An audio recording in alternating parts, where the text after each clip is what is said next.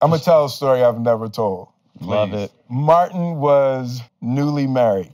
He's like, Will, uh, you know, in Miami, he was like, I'm not, I'm not doing nothing. I'm not doing nothing. I was like, Marty, ma, we in Miami. Come on. So Prince had a club called uh, Glam Slam. I get Martin. I was like, Martin, come on. Prince got this. Is he, he You got can't this turn club. down Come on, Martin. Come on.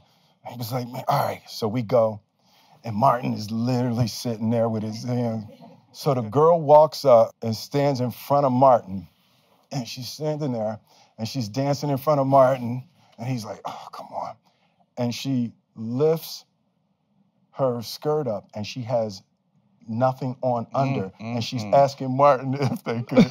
And I look at Martin, and he's like, "This one don't fucking go nowhere with you."